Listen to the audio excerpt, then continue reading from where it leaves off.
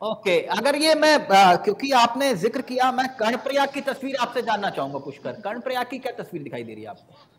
वहाँ किस किस के बीच मुकाबला और क्या कुछ दिलचस्प मुकाबला देखने को मिलेगा वहाँ पर कर्णप्रयाग बिल्कुल बिल्कुल बिल्कुल बिल्कुल आपने सही और सॉलिड प्रश्न पूछा तिलक क्योंकि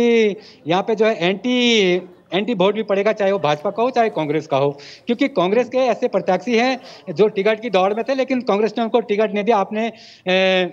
बिस्ट सुरेश बिस्ट है, इनका भी आपने नाम सुना होगा, क्योंकि ये टिकट की दौड़ में थे। उसके बाद आपके जो है सतीश लखेड़ा, उसके बाद टीका प्रसाद मैकुरी तो तमाम सारे जो टिकट की दौड़ में थे, इनको टिकट नहीं दिया गया। हो सकता है कि त्रिकोणी जो जो टीका प्रसाद मैकुरी हैं, जिन्होंने निर्दलीय नामांकन किया है और आज चुनाव मैदान में है, और हो सकता है कि त्रिकोणी मुकाबला हमको यहाँ पे देखने को मिलेगा, लेकिन अभी ये कंफर्म नहीं हो पा रहा है कि या भाजपा जीते या कांग्रेस जीते लेकिन त्रिकोणी मुकाबला यहाँ पे हमको देखने को मिल सकता है कर्णप्रयाग विधानसभा में। टीकाराम जी बीजेपी से रहे?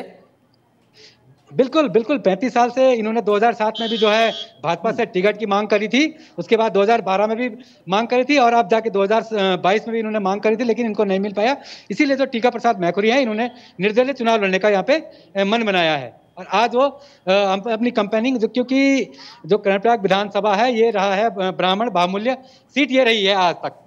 चाहे आप कांग्रेस की बात करें चाहे आप भाजपा की बात करें चाहे आप चाहे आप जो जो हमारे पाँच सालों में चाहे भाजपा ने राज किया हो या आपने क्योंकि कर्नाटक विधानसभा एक ऐसी सीट है ऐसी विधानसभा है जब यूपी का टाइम आपने देखा होगा यूपी के टाइम से आप हैं तो यूपी के टाइम से यहाँ पे हेमंती नंदन बोगड़ा यहाँ से जीते थे उसके बाद जो है